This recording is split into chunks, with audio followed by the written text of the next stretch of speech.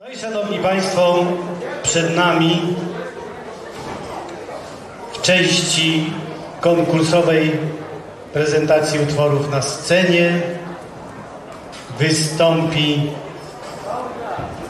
Orkiestra Ochotniczej Straży Pożarnej w Tęczynie, województwo małopolskie.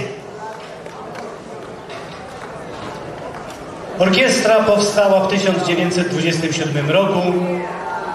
Od 1997 roku została orkiestrą odmłodzona, a prowadzi ją kapelmistrz druh Andrzej Stojewski.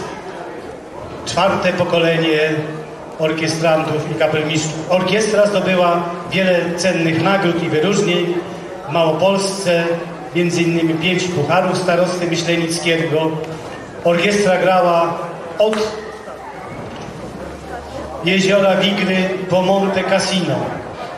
Niezapomniane wrażenia pozostawiła audiencja u naszego papieża Jana Pawła II w Watykanie oraz Puchar Świata pod Krokwią w Zakopanem. Jak orkiestra o sobie pisze, jesteśmy dwutysięczną wioską w górach, blisko Rabki i w wiosce tej tylko sołtys jest niemuzykalny. Tak to jest, proszę Państwa. Trzeba zmienić sołtysa, bo co to jest, nie? Przy następnych wyborach albo się nauczy grać, albo musimy coś z tym zrobić. Kapelmistrz, kapelmistrz non-stop zdobywa pierwsze nagrody żeńskiej publiczności. No proszę bardzo. Na południe od Wisły. Gratulujemy, panie kapelmistrzu. Poczekamy, jaki będzie odbiór w Opatowie.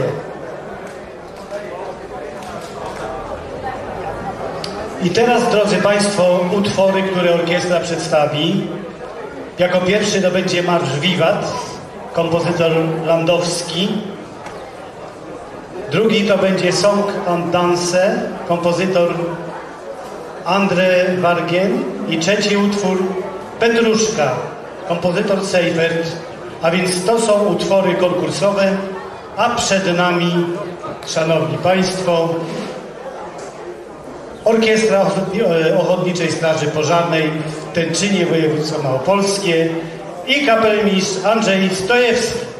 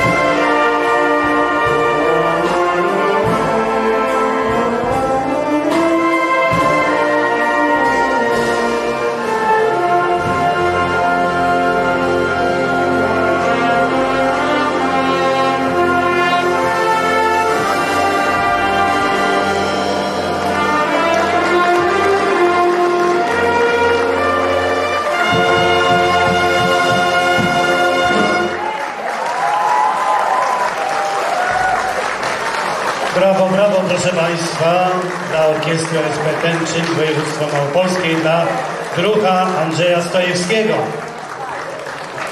Dziękujemy pięknie. Widzę, że druh tutaj miał dwie orkiestry, jedna na scenie, druga widownia, także to do podwójne brawa się należą, bo to za dwie orkiestry dyryguje.